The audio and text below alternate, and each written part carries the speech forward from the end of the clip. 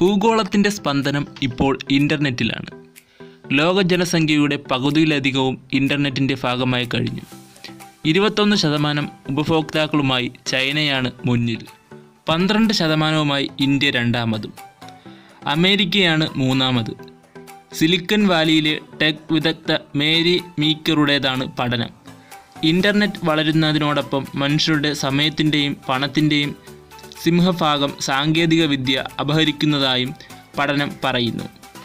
ആയിരത്തി തൊള്ളായിരത്തി തൊണ്ണൂറ്റി അഞ്ച് മുതൽ അങ്ങോട്ട് ഇന്റർനെറ്റിന്റെ വളർച്ചയെപ്പറ്റി വർഷാവർഷം മീക്കർ തയ്യാറാക്കുന്ന പഠനത്തിനായി ടെക് ലോകം ആകാംക്ഷയോടെയാണ് കാത്തിരിക്കുന്നത്. രണ്ടായിരത്തി പതിനേഴിൽ ലോക ജനസംഖ്യയുടെ നാൽപ്പത്തൊമ്പത് ശതമാനമാണ് ഇന്റർനെറ്റ് ഉപഭോക്താക്കളെങ്കിൽ രണ്ടായിരത്തി പതിനെട്ടിൽ ഇത് അമ്പത് ശതമാനവും കടന്നു. എന്നാൽ വളർച്ചാ നിരക്ക് മുൻവർഷത്തേക്കാൾ കുറവാണ്.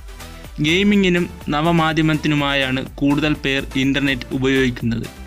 ആമസോൺ ഈക്കോ സ്മാർട്ട് സ്പീക്കർ പോലുള്ള ഉപകരണങ്ങൾ ഉപയോഗിച്ച് പ്രക്ഷേപണങ്ങൾ കേൾക്കുന്നവരും ഇതിന് പിന്നാലെയുണ്ട്.